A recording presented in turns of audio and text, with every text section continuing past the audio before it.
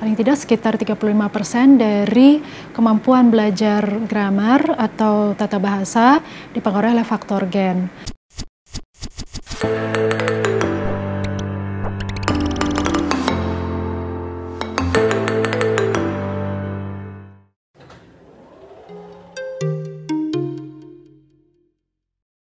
Semua aspek pembelajaran bahasa dipengaruhi oleh faktor genetika.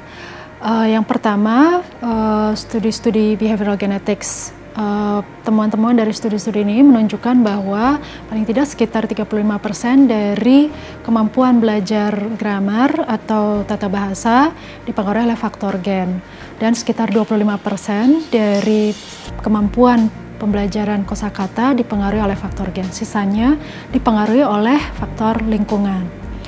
Dan untuk kemampuan uh, belajar fonologis atau uh, membedakan uh, bunyi-bunyian dan mengasosiasikannya dengan makna tertentu dalam bahasa baru, ini uh, memiliki cerita yang sedikit berbeda. Jadi ada suatu studi longitudinal uh, pada pembelajar bahasa kedua yang dilakukan oleh Hua Dongxiang dan Peter Haghurt di uh, Belanda mereka melihat sejauh mana aktivitas uh, satu gen yang disebut gen CNTN AP2 mempengaruhi uh, kemampuan uh, pembelajar bahasa kedua untuk memproses makna bunyi-bunyian dari bahasa baru yang mereka pelajari tersebut.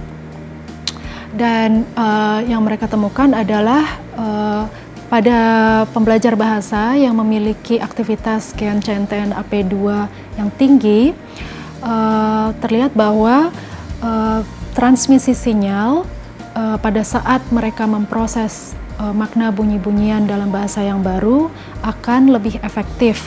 Dan ini tidak terlihat tidak hanya pada uh, transmisi sinyal di satu hemisfer saja tapi juga antar hemisfer jadi dari kiri ke kanan kanan ke kiri uh, ini menunjukkan uh, bahwa ada faktor genetik yang mempengaruhi kemampuan seseorang untuk belajar makna bunyi-bunyian dalam bahasa baru. Dan mereka yang memiliki aktivitas gen CNTN AP2 yang tinggi akan memiliki kesempatan yang lebih baik juga untuk menguasai aspek fonologis dari bahasa yang baru ketimbang mereka yang uh, memiliki aktivitas gen CNTN AP2 yang uh, rendah.